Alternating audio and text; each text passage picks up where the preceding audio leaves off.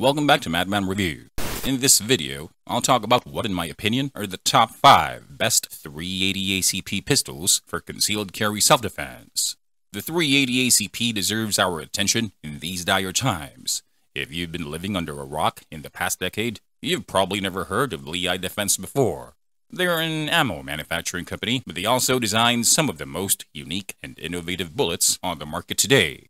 Two of their more recent offerings in particular have been shown by many to give the lowly 380 ACP the literal edge it needs to be an acceptable self-defense cartridge even when shot from barrel lengths shorter than 3 inches. These are the Xtreme Defense and Xtreme Penetrator. These are not hollow points, so they don't mushroom, but the hollow spaces or flutes on these bullets leave behind a wide and consistent spiral-shaped permanent wound cavity, pushing the relatively weak ballistic capabilities of the 380 ACP to its absolute limits, even when shot in a short sub-3-inch barrel. If there's one good reason to carry a handgun chambered in 380 ACP, it's because these fluted bullets now exist. Two other brands I'm aware of are Inceptor's ARX and Norma's NXD. These bullets make the 380 ACP shooting platform a viable alternative, good enough to replace the 9mm for concealed carry self-defense. Now that that's out of the way, let's talk about my top 5 best 380 ACP pistols. Just as a quick reminder, if you're enjoying the content so far, hit the subscribe button and click on the little bell icon so you get notified whenever we have new content. Number 5. SIG P238 The SIG P238 is the most expensive out of all the handguns on my top 5 list, with a starting MSRP of $650 and a street price of 550 to 580. It could partly be because Sig Sauer, as a firearms manufacturer brand, has soared in popularity since they won the XM17 modular handgun system competition in 2017 becoming the supplier of the military's standard issue sidearm, the M17. It could also be because the SIG P238 is just so well built that it's also the handgun on the list with the fewest complaints posted online by owners. The SIG P238's barrel length is 2 and 7 tenths of an inch, which is average as far as micro-compact handguns in 380 ACP go. Its overall length from the tip of its beaver tail grip to the muzzle measures around 5 and 5 tenths of an inch, which makes it relatively longer than most of the handguns on our list. The height from the bottom of the magazine to the highest point on the slide measures 3 and 9 tenths of an inch. As far as dimensions, though it might be a bit longer than the others, you shouldn't have problems finding a holster for concealed carrying this handgun because 5 and 5 tenths of an inch overall length is still relatively small. The slide width is 1 and 1 tenth of an inch, making it a little thicker than the typical micro-compact in 380 ACP. With the frame made out of aluminum, the P238 unloaded weighs in at roughly 15 and 2 tenths of an ounce. So, unlike most other 380 ACP pistols on the market today, it's got some heft to it. Of course, the heavier a firearm is, the more manageable the recoil. Granted, the 380 ACP is a low pressure round that doesn't have a lot of kick, but if you need something for the woman in your life and she has weak wrists, she might like the P238 more than any of the plastic 380 ACP handguns on the market. If you don't mind paying a little extra for such a well-made piece by a highly reputable manufacturer, the SIG P238 is hands down the best pistol chambered for 380 ACP. Number 4. Kel-Tec P3AT As a direct contrast to the SIG P238, the Kel-Tec P3AT is one of the most affordable 380 ACP handguns on the market today. It has an MSRP of $338, but you might be able to find great deals at your local gun store. The lowest reported street price I've seen on any Kel-Tec P3AT to date is $220. As far as reliability, like most pistols chambered for 380 ACP, the most common complaint owners of this handgun have is it has feeding issues. For the majority, these issues seem to tie into the break-in period. The common fix is to shoot anywhere from 300 to 500 rounds of varying 380 ACP ammo and to contact Kel-Tec customer support if the problem persists. Speaking of customer support, Kel-Tec's customer support is reportedly one of the best in the industry, which means that if you purchased a new P3AT and it turned out to be a lemon, you shouldn't have issues getting it fixed. Just as a bit of a warning though, If you're buying a Kel-Tec, I would recommend you buy one new, because if you buy a used piece, Kel-Tec's warranty is non-transferable. It only applies to the original owner.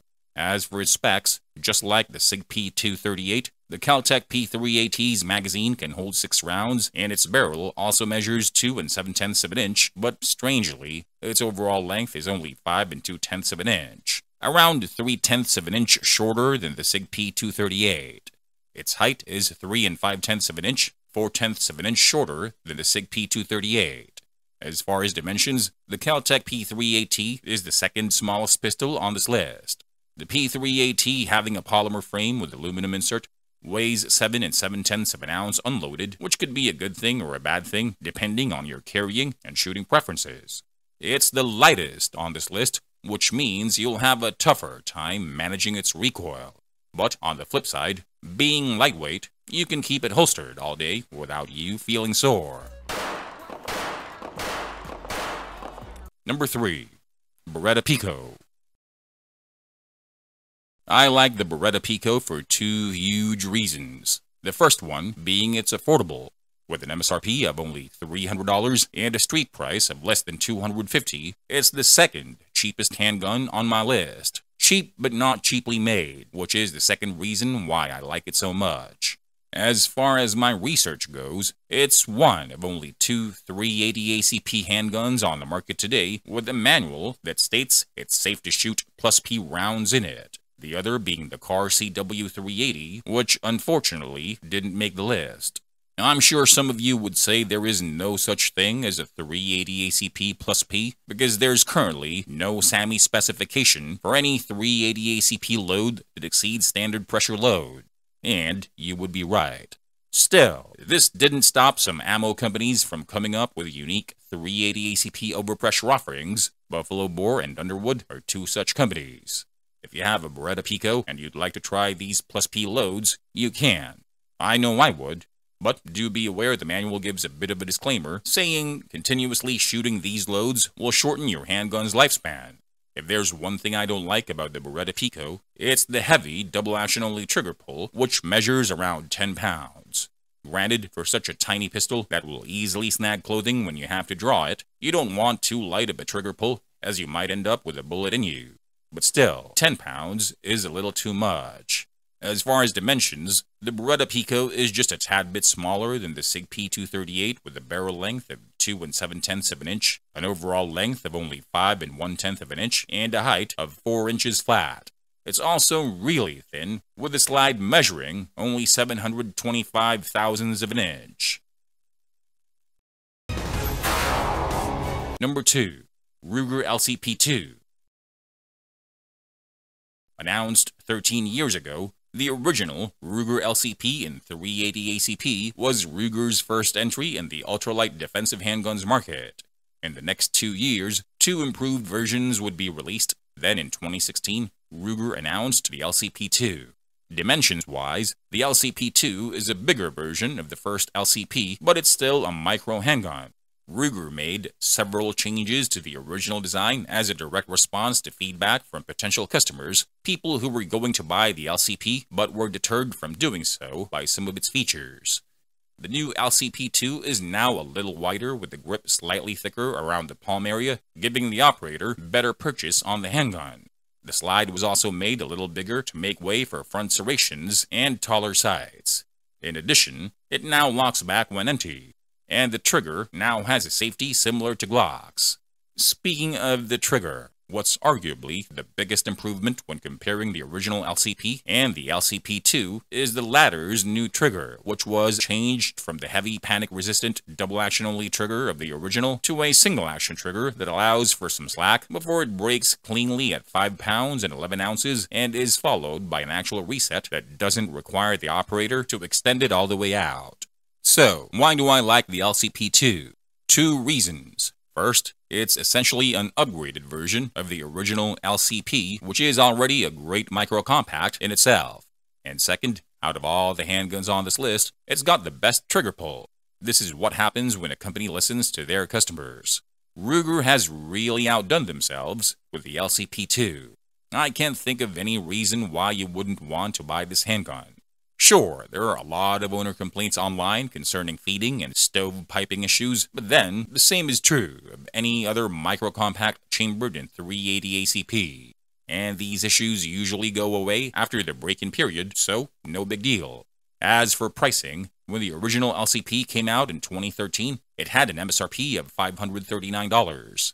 In comparison, the LCP2 only retails on Ruger's website for $349 and if you look around, you might find deals with a lower street price somewhere in the neighborhood of $280.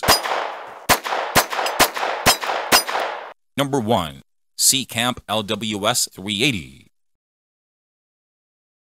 The Seecamp LWS 380 is the most unique out of all the handguns on my top 5 list, and it's not hard to see why. To say that it's small is an understatement. It is minuscule. With a barrel length of only 2 and 6 hundredths of an inch, an overall length of 4 and 25 hundredths of an inch, and a height of only 3 and 25 hundredths of an inch, the Seecamp LWS 380 is really tiny, yet it can keep up with the big boys with its magazine, which, just like the others, is able to hold 6 rounds. Outside of a few common feeding issues, reviews on this pistol are mostly excellent. And because it's made entirely out of stainless steel, the Seecamp LWS 380 has an unloaded weight of 10.5 ounces, good enough to handle the recoil of the 380 ACP in such a tiny package. Talking about pricing, for the engineering marvel that this handgun is, an MSRP of $595 is not bad, in my opinion. It only makes it the second most expensive handgun on my top 5 list. Unfortunately, as with all the other pistols we've talked about, it isn't without its downsides. The Seecamp LWS 380 has the heaviest trigger pull out of all the pistols on my top 5. Again, it's understandable. This thing doesn't require a holster because of its size, so you'll probably just put it in your pocket, and you wouldn't want an accidental discharge when its trigger snags clothing.